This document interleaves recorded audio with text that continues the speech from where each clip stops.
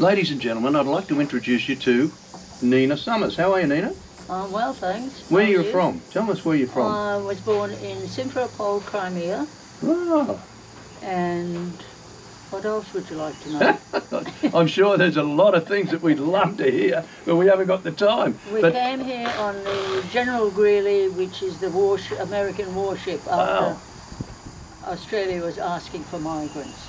incredible. That's my Amazing. What an amazing story.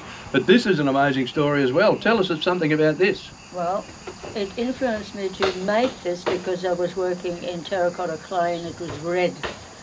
And then Alan went on internet and found me some photos of frilly lizards, and it's called um, red center frilly. Red center frilly.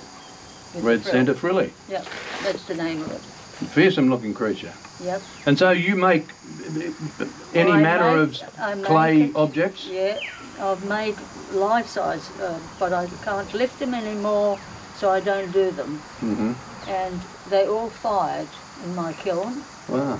And this one has just the fiber glass, fiberglass resin on it, not a glaze, just a resin, so it can stand the Beautiful. weather and stuff. Sounds fantastic. And that's a marine ply base, so water won't hurt it. Okay.